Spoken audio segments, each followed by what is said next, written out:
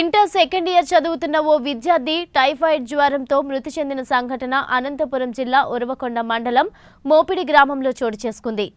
మోపిడి గ్రామానికి చెందిన అనితమ్మ వన్నూరు స్వామి దంపతులకు కిరణ్ రవితేజ ఇద్దరు కుమారులుండగా వారిలో రవితేజ ఇంటర్ సెకండ్ ఇయర్ చదువుతున్నాడు. అయితే రవితేజ గత కొన్ని రోజుల నుంచి టైఫాయిడ్ జ్వరంతో ఉరవకొండ ప్రభుత్వ ఆసుపత్రిలో చికిత్స పొందుతూ మృతి చెందాడు. అయితే పోస్టుమార్టం నిమిత్తం మృతదేహాన్ని అనంతపురం ప్రభుత్వాసుపత్రికి తరలించారు. తల్లిదండ్రులకు చేదోడువాదోడుగా నిలిచే కుమారుడు రవితేజ చనిపోవడంతో వారి కుటుంబంలో విషాద ఛాయలు అలుముకున్నాయి. తమ కుమారుడు బాగా చదివి ఉద్యోగం సంపాదించి తమను పోషిస్తాడనుకున్న ఆ కుటుంబం ఆ భగవంతుడు అన్యాయం చేశాడంటూ బాధపడుతుంది. తమకు ఆ ప్రభుత్వం సహాయ సహకారాలు అందించాలని ఆ కుటుంబం కోరుతుంది. ఇద్దరు సంతానం పిల్లలు రవితేజ రవికిరణ్ రవితేజ అనే పిల్లోడు పెద్ద పిల్లోడు. రవికిరణ్ అనే పిల్లోడు సన్న పిల్లోడు.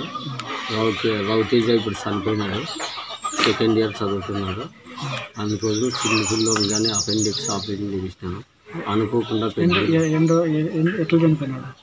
ఎట్లా టైఫాయిడ్ జ్వరం వచ్చి చనిపోయినాడు. మీరేం ప్రభుత్వంలో హాస్పిటల్ అని చూడలేదా? చూపి చూపించినా కూడా గవర్నమెంట్ గవర్నమెంట్ హాస్పిటల్ పోయినా కూడా బతకలేదు.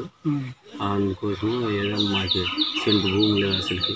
చిన్న పిల్లలకి అపెండిక్స్ ఆపరేషన్ చేపించినాము ఏదో ప్రభుత్వం ద్వారా మీరు కొంచెం సాయం చేస్తే చిన్న పిల్లలను చదివించుకొని కొద్దిగా ముందుకు పోయే అవకాశం ఇస్తారని మీకేం భూమి ఏం లేదా? భూమి ఏం లేదు మాకు. మరి ఎట్లా జీవనం ఎట్లా సాగిస్తారా? కూలి పోయి సాధించుకుంటాం కూలి పోయి పోయి పిల్లల్ని బాగా చదివి పిల్లలు చదివించుకొని పిల్లల వల్ల కొద్దిగా మేము కష్టపడినట్లు పిల్లలు కష్టపడి ఉద్యోగం తెచ్చుకుంటారని ఆశతో నేను కంకర కొట్టాను. వచ్చేసి మళ్ళా బయలుదేరి పని చేశాను అన్ని రకాలు చేశాను. అయినా కూడా నాకు కొడుకు దుఃఖాన్ని శోకాన్ని మిగిల్చిపోయినాడు.